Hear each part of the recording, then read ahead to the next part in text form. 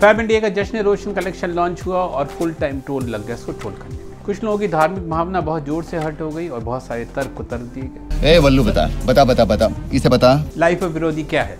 सुबह उठो social media पे ट्रेंडिंग लड़ाइयाँ देखो अपनी मनपसंद की लड़ाई को चुनो जिसके बारे में ओढ़ छो भी पता ना हो और कूद जाओ। दूसरों की ट्वीट को एक्सपर्ट बन के आगे बढ़ाओ महँगाई और बेरोजगारी का गुस्सा निकालो गाली गलौज करो। बस बस बस हो गया। जमाने के बदलने के साथ विरोध करने का तरीका भी बदल गया है और विरोध शुरू होता है सोशल मीडिया से। और फिर शाम तक या एक दो दिन में वहीं पे खत्म हो जाता है। और इन सारे के सारे विरोध में एक चीज़ बहुत ही इंपॉर्टेंट होती है और वो होती है फलानी कंपनी या फलाने आदमी की कमर तोड़ो। चीन से नाराज़ हो तो चीन की कमर तोड़ो पाकिस्तान की कमर तोड़ो स्नैपचैट की कमर तोड़ो।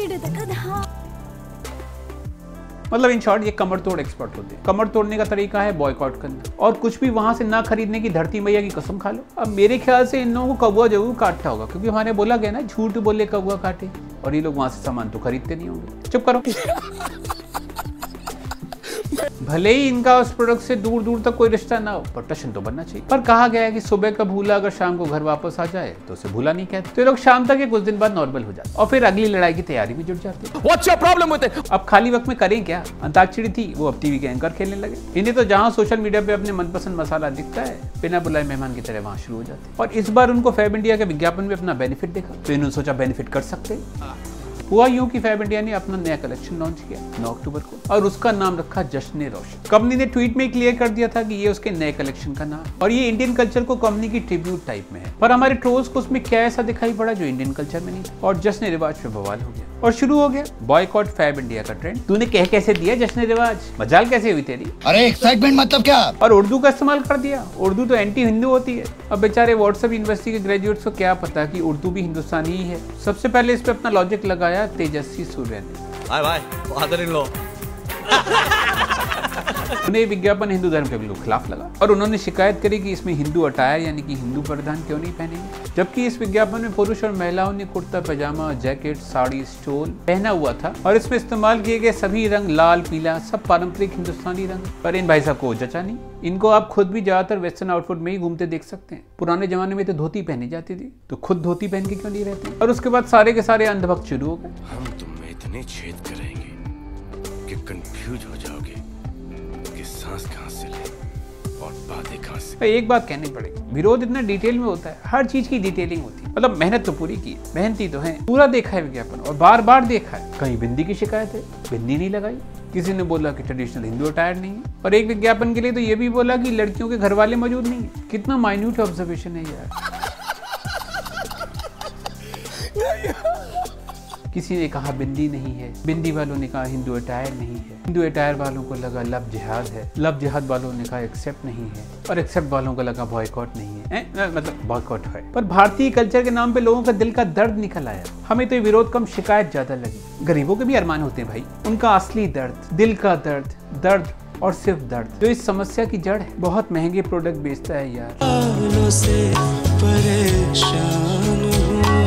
बहुत महँगा है। ज़्यादातर लोगों ने इसके ओवर प्राइस होने की शिकायत ज़्यादा की। फैब इंडियन की पहुँच से बाहर है और ये एक मौका है अपनी बात उस तक पहुँचाने का। आपदा को अवसर में बदल दिया सेल लगा दिया करो यार। फैब इंडिया अपने कपड़ों को सोर्स करती है गाँव और चालीस हज़ार आर्टिजन और क्राफ्टमैन इसको बनाते हैं। यानी कि इसने बहुत बड़े नंबर को एम्पावर भी किया है। और हिंदी की तरह उर्दू भी भारतीय भाषा है। और ये बहुत सारे इंटेलेक्चुअल्स की जबानी भाषा भी है। और हम लोग भी अपनी रोज़मर्रा की ज़िंदगी में तमाम उर्दू शब्दों का इस्तेमाल करते हैं। जश्न रिवाज का मतलब था हमारे ट्रेडिशन को सेलिब्रेट कर और ये था फैब इंडिया की नई कलेक्शन का नाम। कंपनी ने क्लियर किया था कि ये इंडियन ट्रेडिशन का सेलिब्रेशन है और दिवाली से इसका कोई लेना देना नहीं। फैब इंडिया ने अपने इस विज्ञापन को वापस ले लिया। ठीक एक साल पहले तनिष्क ने भी अपने एक जूलरी ब्रांड लॉन्च किया था एकत्तम के नाम से। और उसके विज्ञापन से भी लोगों को आपत्ति हो गई थी। विज्ञापन में एक हिंदू बहू थी मुस्लिम परिवार में। सास अपनी हिंदू प्रेग्नेंट बहू के लिए हिंदुओं की एक रस्म को मना रही थी क्योंकि वो अपनी बहू को अपनी बेटी की तरह मानती उस विज्ञापन का मकसद भी था कि अलग अलग धर्म के लोग एक साथ खुशियाँ मनाते हुए पर हुआ क्या? बॉयकॉट तनिष्क के ट्रेंड शुरू हो गए। मगर इतना सेंटी क्यों रहा और बाद में तनिष्क को अपने इस विज्ञापन को वापस लेना पड़ा किसी ने शिकायत करी कि वहाँ कोई मूर्ति नहीं थी कोई पंडित नहीं था। और किसी ने तो ये भी बोला कि लड़की के घर की साइड से कोई नहीं था।